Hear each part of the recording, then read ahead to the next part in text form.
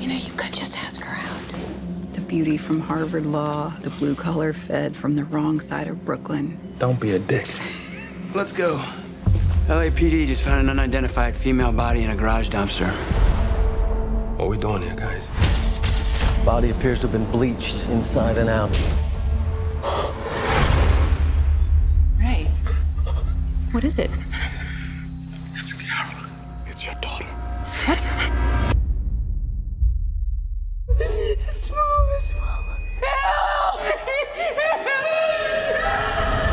This is the guy. Death penalty. That'd be too good for him. That guy. I can't have you question him. You're letting him go, aren't you? I'm sorry.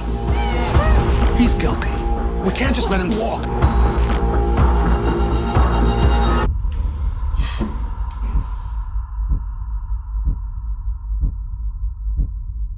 We're gonna get him, no matter what it takes.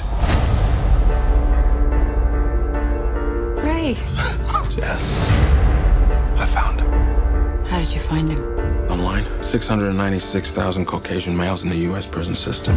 You can cycle through the entire population in a year if you look at 1,906 faces every night, so I did. For a year? For 13 years.